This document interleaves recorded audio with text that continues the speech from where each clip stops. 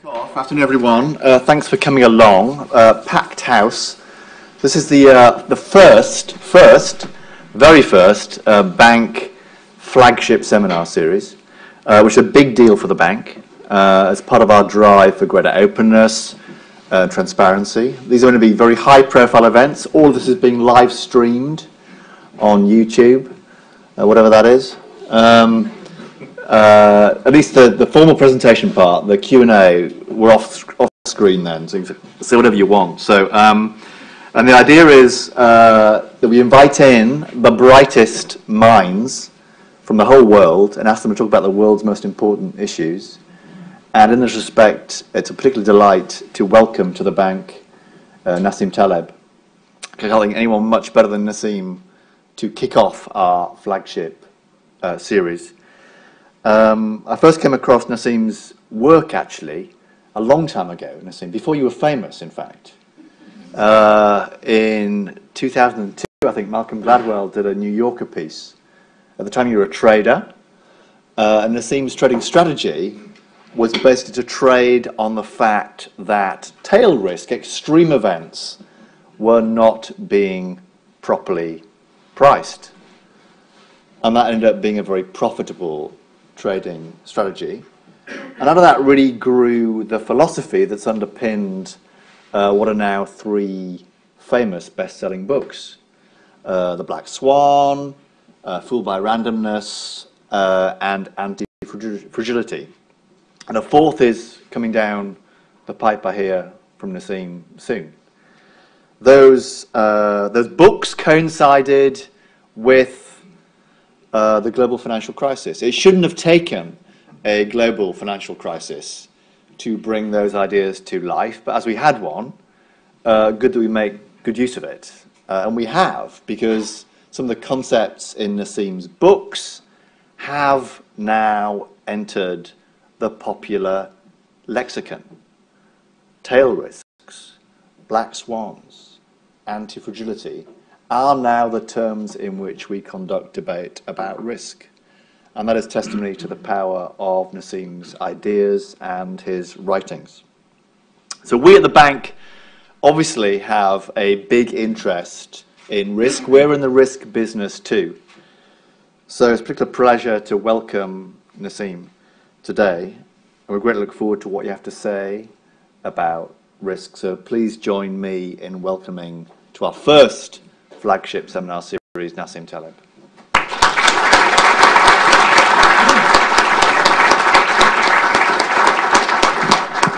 Sorry, I'm extremely honored to be here, and, and again, I'm not used to being on the inside. Usually I'm on the outside barking, so uh, maybe that would, uh, it's a different attitude. I have to be mild-mannered and uh, understated and all kind of thing, whereas before I was aggressive, you know, hey, this is wrong, stuff like that. But I'm, I'm, I'm, I'm extremely proud to be here, particularly that with like-minded people, we, you know, particularly uh, Andy's thinking about simplify things and focus on heuristics. And uh, I discovered that we share the same uh, uh, collaborator and, and friend, uh, Gigerenzer, who actually was a cause of this idea of heuristic I'm presenting today. So it looks like we come from the same school. Finally, there's a school of thought of how to do business in the real world that is less complicated, more effective, more entertaining, especially. All right, this counts more. So uh, before getting to fragility, uh, can you hear me? This works. I'm going to start with the boring part and the unpleasant part, statistics. So by tearing down what exists in terms of statistical thinking on statistical ground, by showing that it's not rigorous, that what you hear, a lot of people talk statistics, but it contradicts the, the, the, the foundation of statistical thinking, which is significance. All right, know the significance of what you're talking about before you talk about something. So this is part of this uh, project we call Doing Statistics on the Fat Tail, of the program, where you had to revamp all estimators. So let me tell you the story. I, I uh, you know, uh, started dealing with fat tails, and about 99.9% of economists I've encountered would reply, nothing new. We know a lot about fat tails. We know they exist. Pareto discovered fat tails. This guy discovered fat tails. It's not the point. So my answer is the first thing is why do you keep blowing up if you know about fat tails? So visibly you're not. There's, there's schizophrenia uh, or some element of uh, I don't know, what you call it, uh, incoherence or something. And the second question is, why isn't econometrics more effective than astrology? Basic fact, if you're a statistician, you worry about statistics, so you worry about your own statistics. Why does it work out of sample uh, slightly worse than astrology, right? So uh, visibly, there's got to be something wrong. And the third question is, why do you use mean variance? If you understand fat tail, it contradicts everything you're doing. So visibly, you don't understand fat tail. The point is that it is not changing the color of the dress.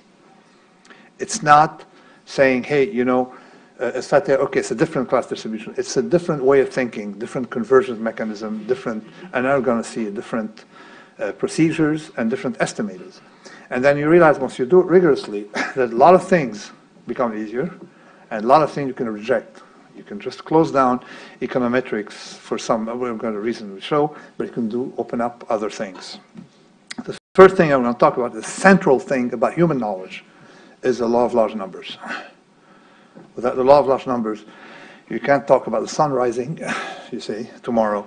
You can't talk about uh, English pudding being something that is not attractive to foreigners. You cannot, uh, but other things are attractive to foreigners, visibly, a lot of things. That the English weather, uh, you get the idea. Without large numbers, okay. So what we have here is, to the left, is we have a, what we call a thin-tailed Gaussian, whatever you want to call it, probability distribution. And to the right, we have a fat-tailed probability distribution. And actually, this one I picked was exact the most known probability distribution, which is what? What's the most known probability distribution, or thing people talk about casually, particularly on the internet? 80-20. This is what you have here on the right. Okay. So on the left, so you see how fast the first one converges. In other words, you have some observation, you know what's going on. And you see how slowly the second one converges. Okay? The mean exists for both of them, but you reach it very, very slowly in the second one. Let me show you the speed, actually. I, you assume they have the same mean. The blue is how the 80-20 converges, and the uh, yellowish one is how the Gaussian converges, right? So even if you start with the same mean deviation. So here I'm going to ask you put a question. I have a Gaussian, and I have 30 observation. How much how many more observations do I need? In other words, the end needs to be for Pareto 80-20 to have the exact same error on the mean from observation. How, how large your average, how large a sample should have to have an, to track the average with the same error rate at 30 for a Gaussian? Someone can tell me? 50. 50 who said 50,000? Come on, who said more? Higher, higher. Okay. What was that? 10 to the 13. I don't think would you know, uh, any, uh, the market would have reached that price, okay? 10 to the 13. Does it tell you something? Uh-huh.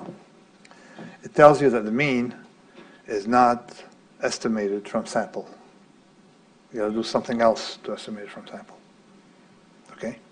So, I mean, this is standard, usually convergence theory. So it is unrigorous for the fat-tailed process to derive the mean from small samples. It is unrigorous to make statements because they don't have the significance. It's very simple, all right? And this is basic statistics. People forget the basics. They go, okay, now next trait, all right? Have you heard of a measure? How do you know how fat the tails are? Conventional, conventional, uh, what you learn in school. Excel has a function for it. What is it called? Sorry? Kurtosis. Okay. If I have 10,000 uh, pieces of data, n of 10,000, okay, in the financial markets, and I take how, uh, the largest observation, visibly the largest contributor to the kurtosis, how much of the total over 10,000, which is about 50 years of data, how much of the total do you think you're going to be represented by the largest deviation? By, how, by what? By the largest deviation. One in 10,000 will determine how, what percentage of the kurtosis. That we know that people talk about 1%, you know, of the people on a planet have, uh, what is it, 50% of the wealth, some kind of stuff. All right. The same reasoning. One in 10,000 will have how much of the kurtosis?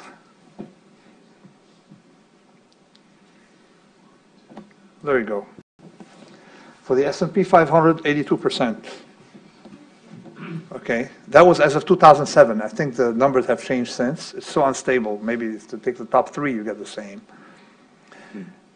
That's the 50, 60 years or 55 years until 2007 when I did that. For silver, same. These numbers are 2007, 90 some percent. What does it tell us? It tells us you cannot use standard deviation. You cannot use variance because it's, as a kurtosis this is what? It's volatile, it's a variance. Okay? It's too unstable, so you don't know it. How can you use a measure if you don't know its error rate? We're on the wrong track. Okay? Now, okay. More bad news to hit. Inequality measures. Have you heard of Pikettistas and Pikettism and stuff like that? Okay. What do people use to measure inequality? They use a Gini or centiles. Okay?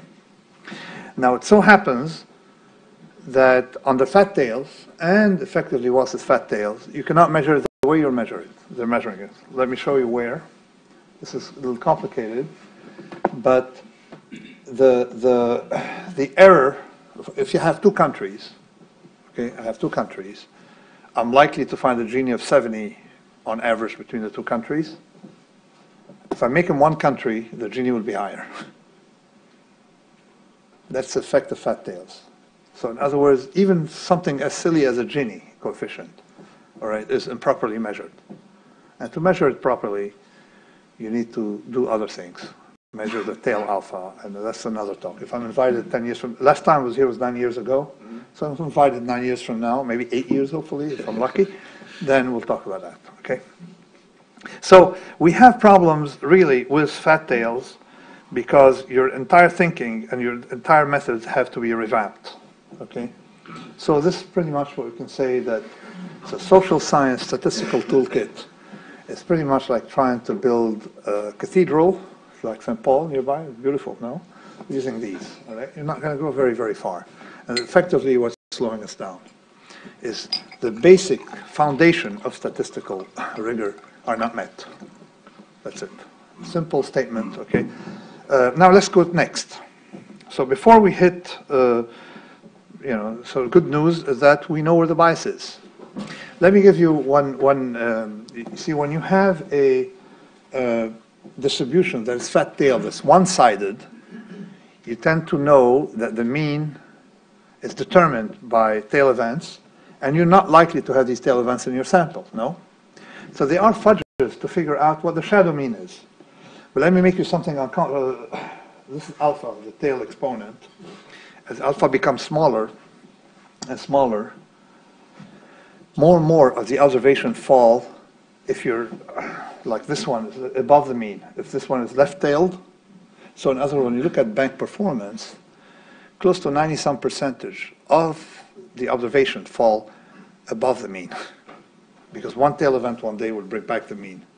So you realize we know that. If you know that, then you can look at a histogram of the return and add these bad observations. Or there are other stuff called tail extension. So we know how to work with it, provided you accept that you're no longer dealing with a thin tail distribution and you're a new family of distributions that require different thinking, different methods, different rigor. And also not make statement off of small samples. So this is the asymmetry is visibly, if it's one tail to the right, samples, like in entrepreneurship, samples will underestimate the mean, and vice versa on the left. And we know how to work with it. Something I call shadow mean. So we're working with violence, okay, violence on the planet. And uh, people would measure the mean. I say, no, you, uh, sorry, no, you uh, unintelligent person. Sorry, I can't. I gotta be, you know, I'm recorded, so I have to be extremely mild-mannered. people would measure the mean. I say, no, you, uh, sorry, no, you uh, unintelligent person. Sorry, I can't. I gotta be, you know, I'm recorded, so I have to be extremely mild-mannered. I'm from the inside. I don't have to prove anything. No, so I gotta be mild-mannered. So no, you unintelligent person. Contrary-wise, have to prove anything. No, so I gotta be mild-mannered. So no, you an intelligent person. Contrary, to the say. okay. You cannot measure violence, the rate of violence, for example. And this is a, an article which was published on violence, uh, published with the co-author Pasquale Cirillo. There's the sample mean and there is the maximum likelihood mean we can measure in some technique. And look at the difference. That the true mean, the statistical mean, is four times or three times what you observe. We can pull these biases. We can actually look at the P&L of a bank and figure out, hey, what? They make that much? No. They make a third, you see. Or look at the performance of an industry and say, no, the real mean is above because all you need one large observation which falls within statistical likelihood. It's just like, think about it. If I have 10 years of data, I'm not going to have a 100-year flood, no? That is, that, that's, that's basically the central method. And you know what's missing is that tail that will increase your mean. You see, that's pretty much how to think about these things.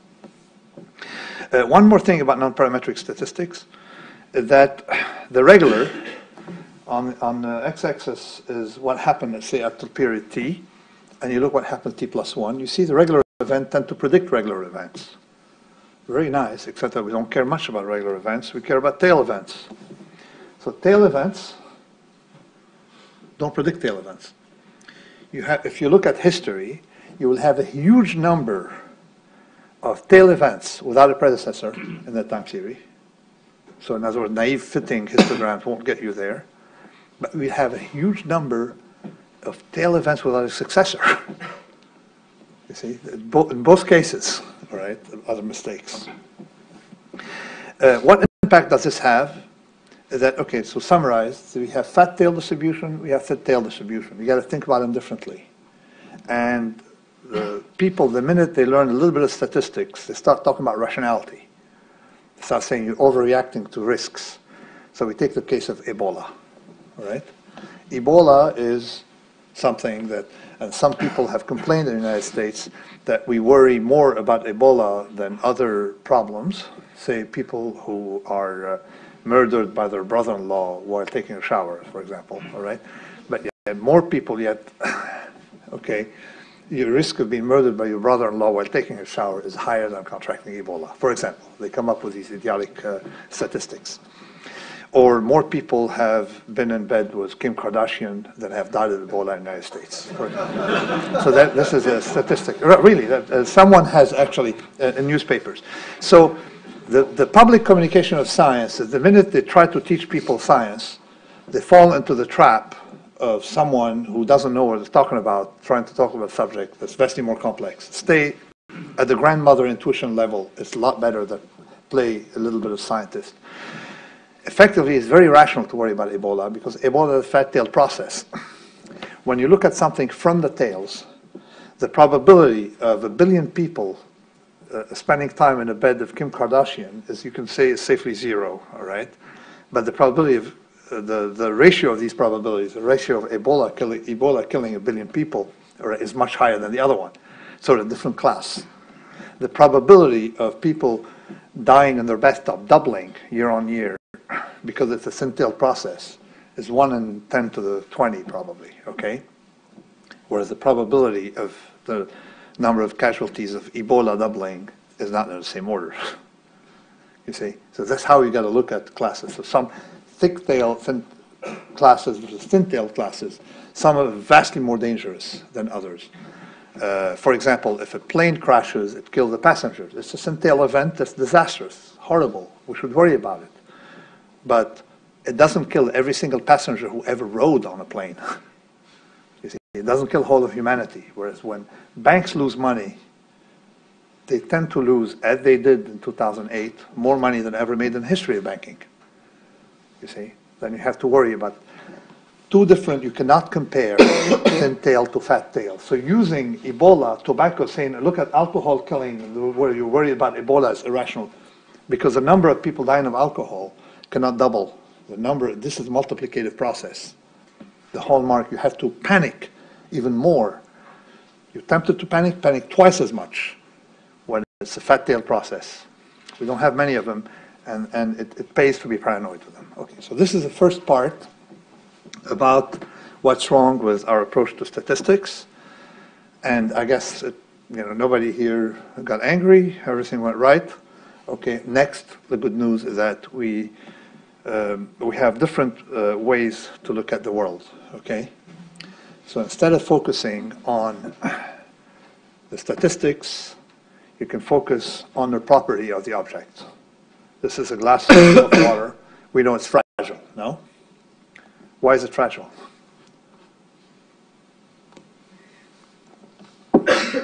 what is it that everything that's fragile, all the things that are fragile, have something in common? What is it? Sorry? Rigidity? So uh, no. Rigid?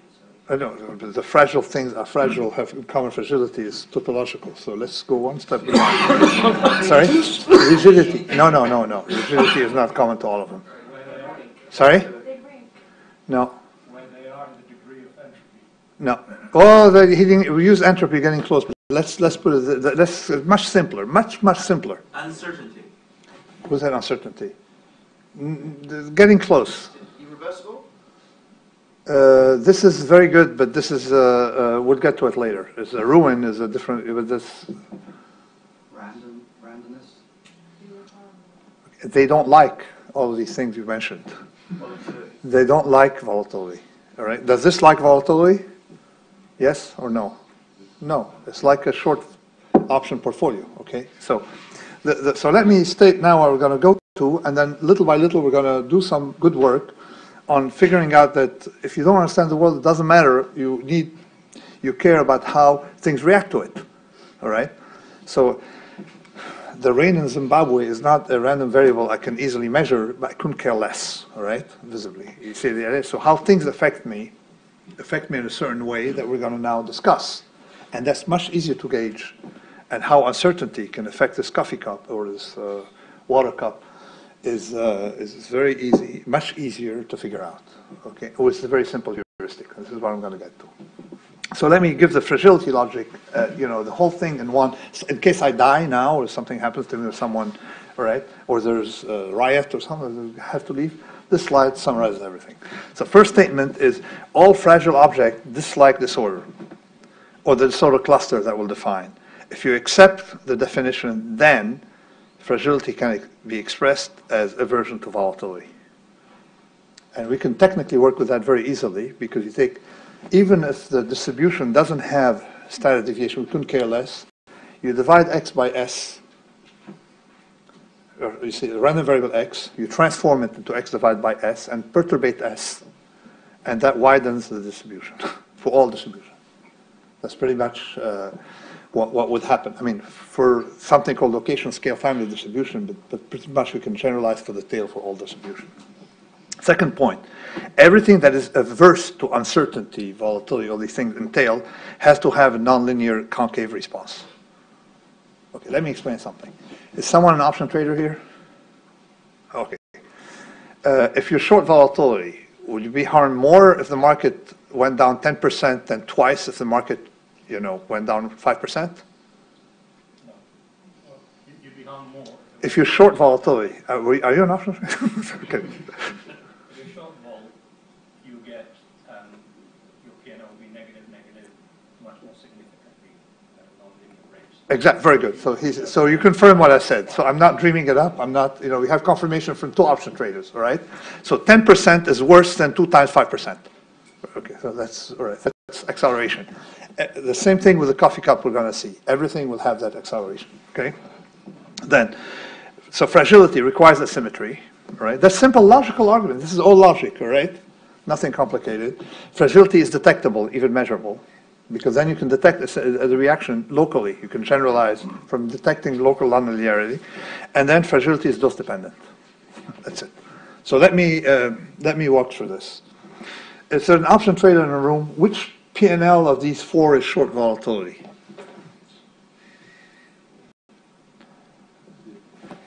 The top left, okay? It's exactly the same P and L as this glass of water, the glass. All the variation are gonna be to the downside, you agree?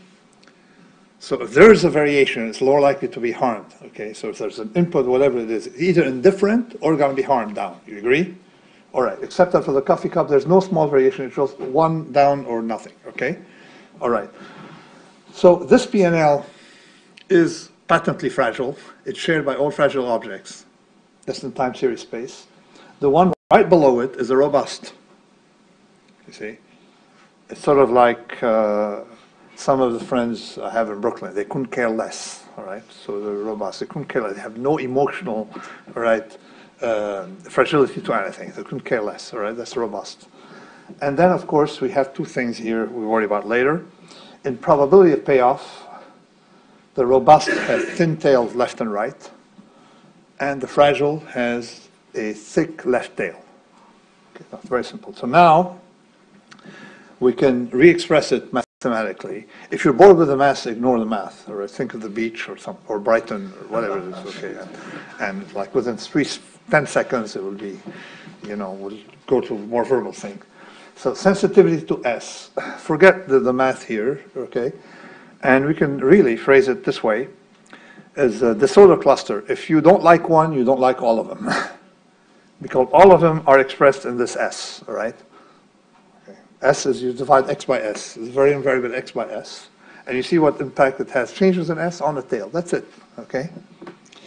And then there are other ways to approach s, non, non-parametric. Uh, the ways is one is a tail, s what happens to that integral below. You, you, can, you can express it a lot of ways, but you get the same result, which is the following. Transfer theorems. That convexity if you have a convex response to a random variable, say the, the, the S&P 500, and I have a function, my P&L is a function of the S&P 500. If I'm convex from that, okay, then more uncertainty about my own P&L gives me an increased right tail. All right, in other I don't have a left tail, I have a right tail, and I like volatility. Okay, that's why option, this is tautological for option traders, but you can generalize outside.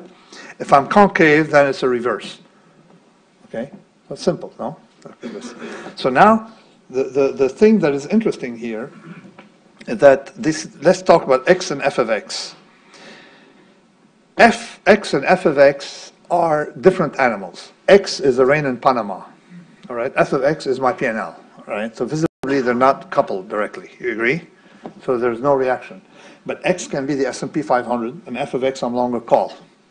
X can be the, the, the whatever it is, the unemployment, and f of x is my budget deficit. Okay? So, it, so you realize here there's always like a rigor studying the statistical properties of x and not those of f of x, and we know how to bridge them. Okay? Basically, if you're convex, look at it. If you're convex, if f of x is convex, then the probability distribution of x, look at that f of x. It has the right properties, which is what we call antifragile, right? And it can have the reverse. If it's concave, then it moves to the left. We're going to see more of that later.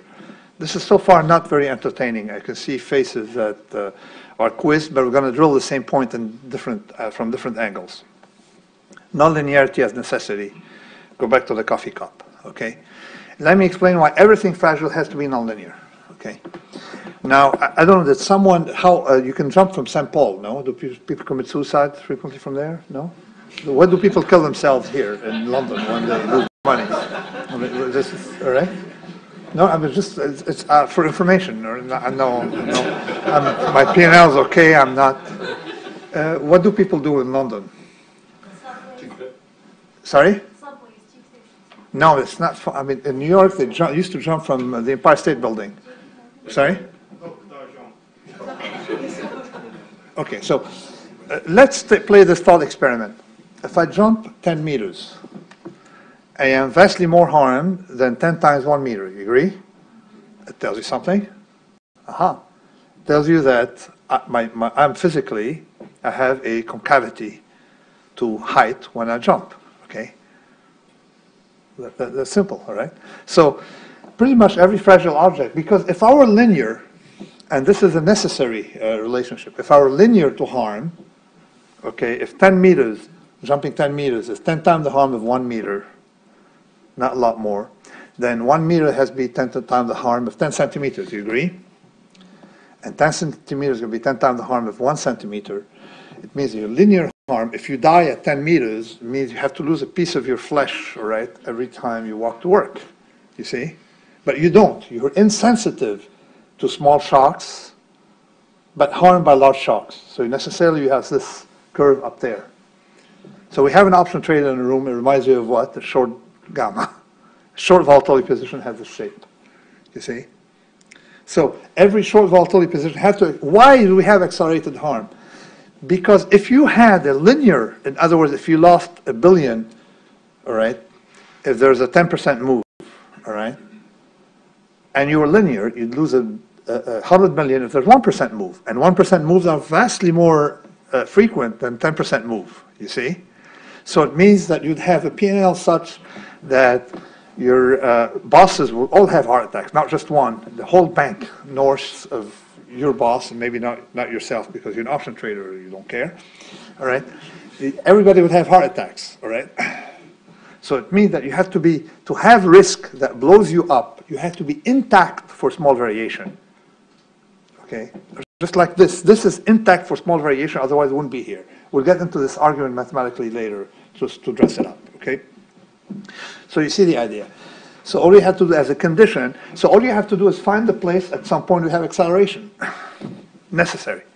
So Fannie Mae, you know, 30 basis points, 40 basis points, you don't hear about them, all right?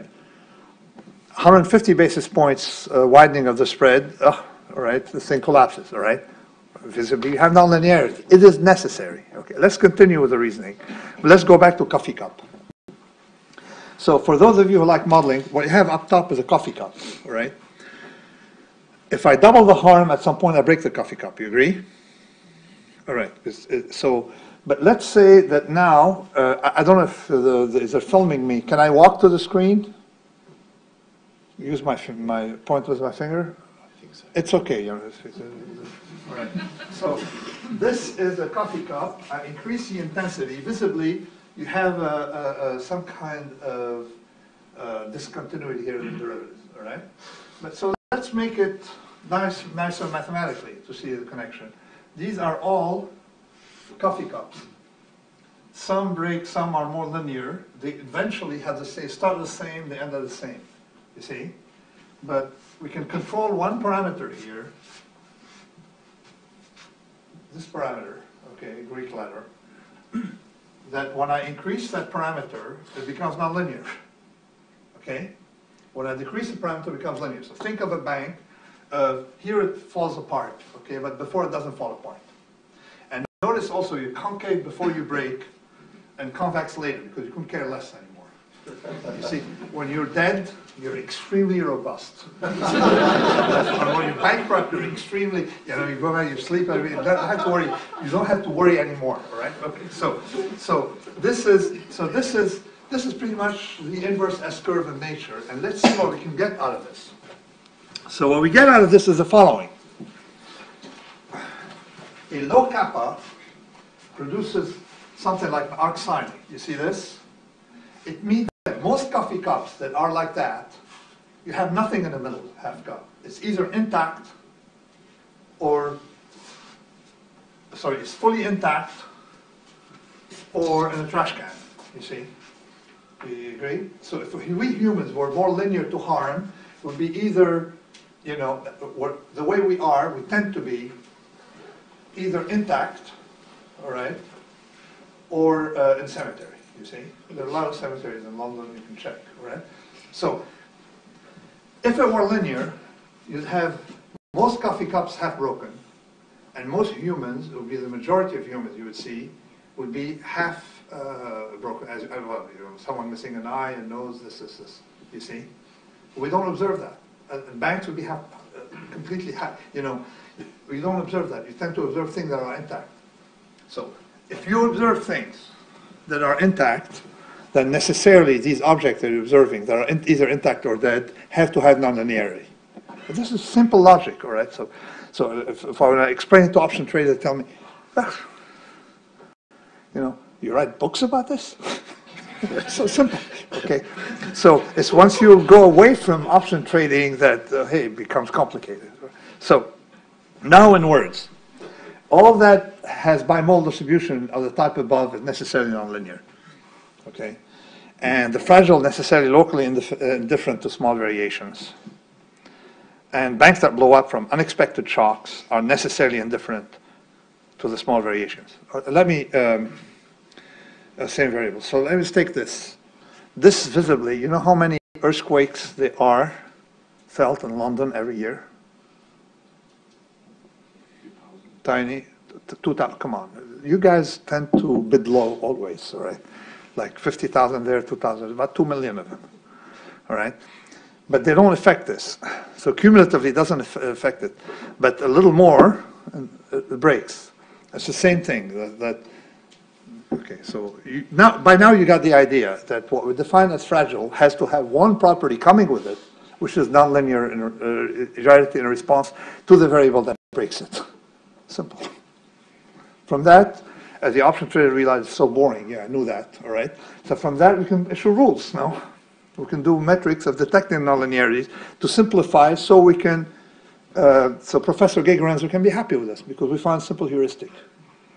And what Professor Gigerenzer d- does, he says, you know, if, if you, most people who are rationalistic want to replicate a baseball player would make someone solve the differential equation to go catch a ball. But in fact, how do baseball players catch a ball? They have a gaze heuristic, which is what? You just look at the ball, and you're rather looking at the ball, and you're going to catch it, you're going to be at the right angle to catch it. So nothing too complicated, it's a very simple heuristic. So we gotta have to look at, it. the only thing that works in the real world are these kind of heuristics. Simple rules that you apply, all right, that effectively save you from a lot of analysis, that have justification. Anyway, so let me give some other stuff coming with it, because with the package, I gotta make things complicated so people take it more seriously, but, all right. So, options are very convex to tail events, okay? So because options are very convex to tail events, there's a constant error in the literature to look at options and say, well, you know, they don't make money. You look at, these are the, the lambda equals zero is at the money, 10, 10% out of the money. Lambda uh, of uh, 20% is 20%, 20 sigmas out of the money. You see how con- concave they become. In other words, if you're long an option that's 20 sigma out of the money, and there is a 20 sigma event, you stand to make several hundred thousand, all right, years of time decay. Just need to have enough capital to last that long. Sorry? Just need to have enough. No, but because they cost pennies. Well, conversely, let me tell you one thing. The banks lost $5 billion, all right? $5 trillion in the crisis. From what? From short tail events that made them six basis points? Largely? So you gotta think about it. This uh, is, uh, most people don't realize how cheap it is to buy these instruments because they're assuming they exist. Another one, explosion of volatility. If you have a 10 sigma out of the money option, and volatility multiplied by two, it multiplied by 27. If you have an at the money option, it's multiplied by two, by doubles, all right? So if volatility doubles, you, you, uh, for 15 sigma, it makes 300.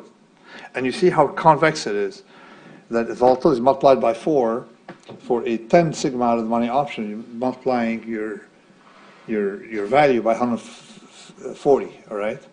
Now, I don't know how many of you have market memory. How many times did the VIX go up fourfold over the past 20 years? Many. Many, right? So that gives you an idea of, uh, um, of, you know, you but you can detect the concavities and convexities very easily. So, so this is, so far I presented the problem, namely that statistically we have no clue. And the very idea of calibration, when you walk in the morning, say, I'm going to, okay, tell, tells you that they have no clue. Because if they understood science, they, wouldn't, ca- they, would, they would say a model that you have to calibrate based on new observation is a, a- a- is a model that's flawed, severely flawed, that you can't really use in, uh, for any accuracy. But they think, well, it didn't work in the past, but it will work in the future because Professor, I don't know, so-and-so helped us. It Doesn't work that way. You have to find something more robust like a heuristic. How many times have we recalibrated uh, the speed of light? Okay, did we still, did we hear the calibration this morning? Someone recalibrated the model? No, come on. So, so, so uh, science is really something that takes very seriously what happens out of sample. How, the Planck constant has not been recalibrated. All these things we know, right, have not been recalibrated. We're improving on the models. But in finance, in, in economics, they keep rechanging the models, all right? It means it's not models, they're forms of entertainment. They're not, they're, they're not, they cannot possibly be of anything, use of anything. right? So um, I was proposing the tricks to work. If you work without, you don't have. When we did the measure of violence with the shadow mean, we said, if there's a third world war, okay, we wrote the paper before the Turkish uh, guys got a little wild, but uh, if there's a third world war, will it change our paper? No, on measurement of violence.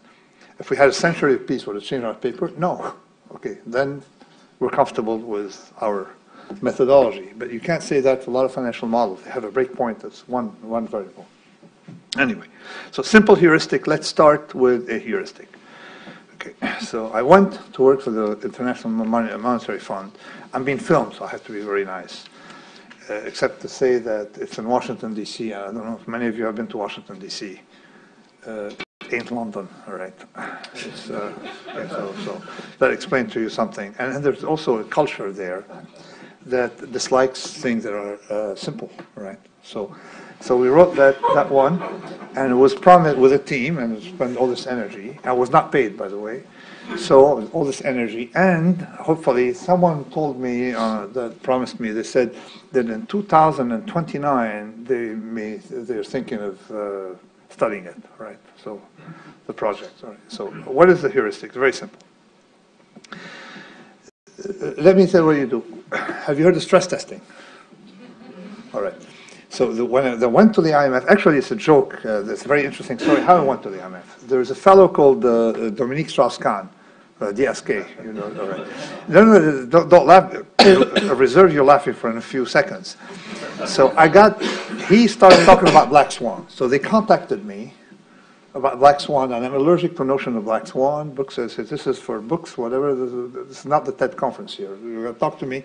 I'm like a car mechanic. We talk about how to fix carburetors, you know, increase the thing.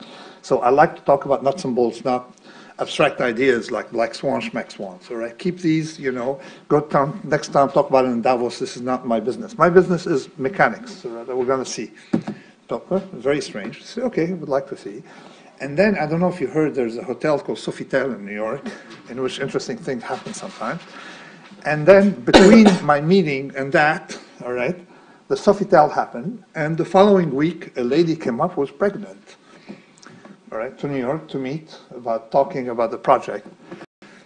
And then uh, she showed up. She, the first thing she told me is, "It's not from him." that, was, that was he's not the father. I say, okay, I didn't ask anything, right? So, so just so that's my story with the IMF. So I went there to, to counter to counter, or the invitation of the fellow who disappeared for reasons you know, all right, um, uh, DSK to counter uh, the idea. I want to be like a car mechanic, you know, offer him something, you know, that works, right, right. So the uh, the, the, the heuristic, so offer the heuristic. I said, what do you do with stress testing? So very simply, that, we, that, that time they had uh, Dexia passed the European Central Bank stress test, your competitor, of course, not as skilled and they don't have, you know, the, the depth and uh, and realism, all right, that's uh, present here. So European, I'm, I'm serious, all right, I'm, I'm honestly, uh, I, I can talk from experience. So the European Central Bank, you know, they did the uh, Dexia, and they declared Dexia phenomenally safe, flying colors. How many hours before liquidation? okay, so visibly why? Because when you do stress testing, people think it's not parametric. It's the most parametric thing. You're coming up with a number, an arbitrary number, okay? It doesn't tell you anything. If you're going to blow up beyond that number, you're going to see it in that number. And people know what number you stress test to, so they game it by having th- the risk beyond, okay? Aha. So we came up with a very simple idea, simplest idea. You bring, you know, show us how you do stress testing, and there are like as many methods of doing stress testing as there are uh, streets with weird names in Washington, uh, you know, uh, like uh, so. And all of them, you take, say, you have one. Some of them have a driver, and then you have a cluster thing that move with it. Some of them have uh, uh, different clusters and stuff. Okay, so like you move only one number, or you move a cluster of numbers. Okay, all that. Who cares? Whatever you're doing, do it three times. What? Yeah, do it three times. Why three times? Do it three times. So you do it three times. Guess what you get? What do you get from that? You get if you have acceleration. So you know if they're going to be harmed by an event that's way outside the stress test, particularly if it's slightly above the upper bound that you've tested for. It tells you the structure of the thing, and the ratio of the two numbers can be used as a very simple heuristic. You start looking at, at uh, doing this on that stress test. There's actually some, uh, okay, so someone came in and said, well, what if we have the wrong model? You can use the worst model you want. You know, uh, CVAR, expected, you can apply it to CVAR. You bring CVAR and you tell them, what is CVAR sensitive to? Give me the four variables that enter. And do the same on these variables. Raise it 25%, lower it 25%. Or raise it based on observe two and a half mean deviation, lower it two and a half mean deviation. And then you can see if you have acceleration of one way, and not the other. In other words, if you risk, if you say I have one parameter, sigma, I put it in my CVAR, okay? I raise sigma 10%, my risk doubles, it's often the case, huh? You lower it 10%, your risk goes down slightly. You go to the cemetery, absolutely no, okay? So this is pretty much the technique to get the, the, the stress testing using this very simple graph here. That's it, this graph here. You, you, you, you, you, you do the stress, three stress test, and you can see if you have acceleration very easily, all right? So uh, instead of focusing on one number, focus on five, three or five. You can do S5, what we call S5. So it's as simple as that. And, and um, okay, now someone came to me and said, okay, what if I have the wrong model? Okay, say, okay, who cares? What? Yeah, you can use a value at risk as junk, but, but it still give you information there. Why? Let's think about it. If I have a child and I have a wrong ruler and I'm measuring the height of the child, okay, the wrong ruler will give me the wrong height. But will it tell me if the child is growing? Yeah, that's all we need. So the model needs to be, by theorem, we showed the error in ruler. It has to be very, very bad for it not to show acceleration of risk. So this is the interesting thing. It's sort of like, you know, the, we're coming back to a very simple measure like the frisbee, or not frisbee, the, the, the baseball thing, looking at the, the ball. It's so simple, right? So it works, and then we tested, you know, if you use bad value or bad param, bad model, bad distribution, all of this, all right, good enough. It gives you the acceleration. And we actually proved that the model has to be very bad for it not to show. So your stress testing, okay, of course, has to span the right variables. So this is what uh, we get out of this, okay? Um, I, I don't know how much more we have. We have uh, Five or so. Five, five, five minutes, okay. So, so this is the heuristic, okay? So we can generalize from that. Now, we can take it one step further. Hold on, if I know how to uh, maneuver with this, we can take it, you know, into a lot of things about, uh, figure out, for example, if, if something, we call barbell, it's a linear combination of very conservative plus very aggressive, outperform a medium strategy. I can show immediately why here. Because it's a convex transformation, so uncertainty raises your right tail without your left tail. You see? If you increase in uncertainty, it's not going to stick up in both your tails, only one tail, which is the right one, the positive one. So you can, you can do a lot of things with this. And, uh, and then we kept generalizing to something like size, all right? Very simple. You know um, the liquidation of Kerviel? They had to liquidate uh, how many billion? Uh, 55 billion. So it cost them 10% to liquidate, 8% to liquidate. The market dropped 10%. If they had a tenth of the size, would the liquidation costs have been that large?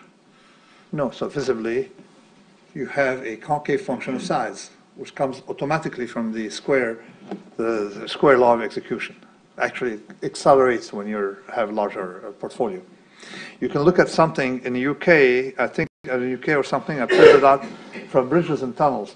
Why is it that as your size gets larger, your costs become higher per unit? Okay, well, you have a concave function of size. That's it. It's not, it's, you can pull a lot of things that are too big to fail from that. Okay, so very quickly, you can also use this of how models fall, fall apart.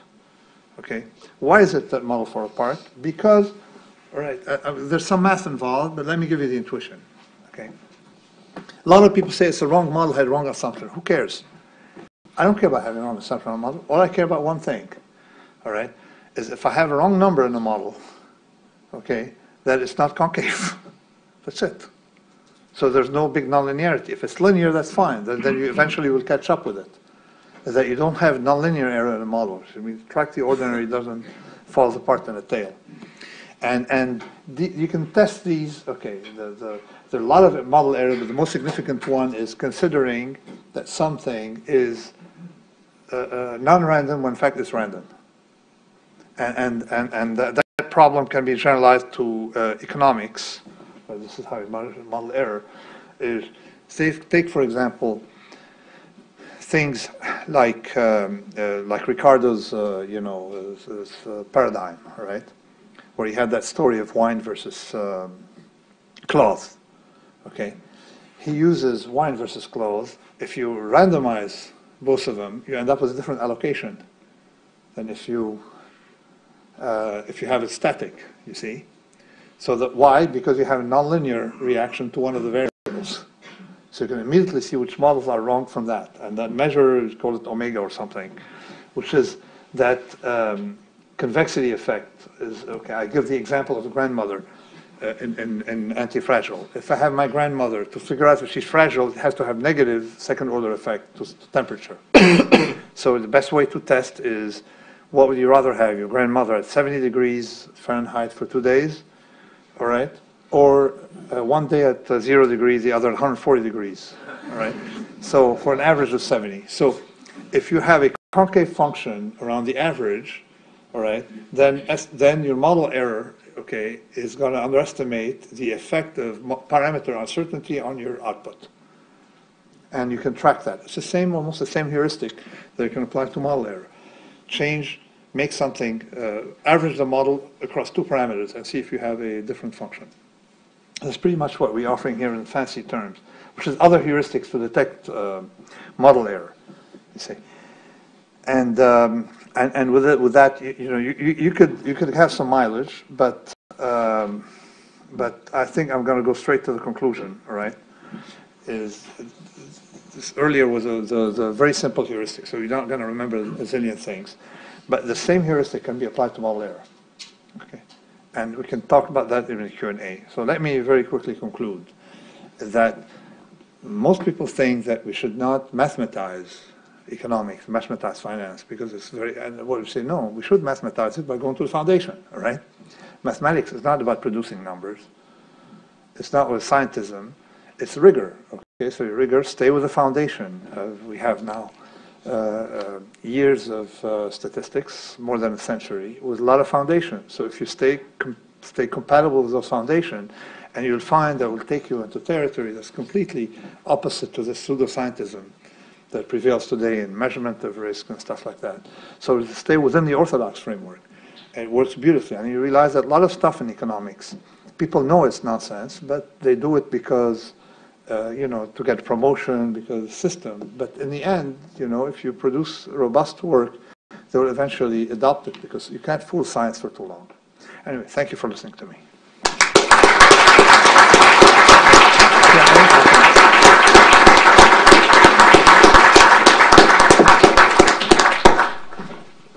Thank you, uh, Nassim, for that fantastic uh, talk. Now, the, the, the camera's off now.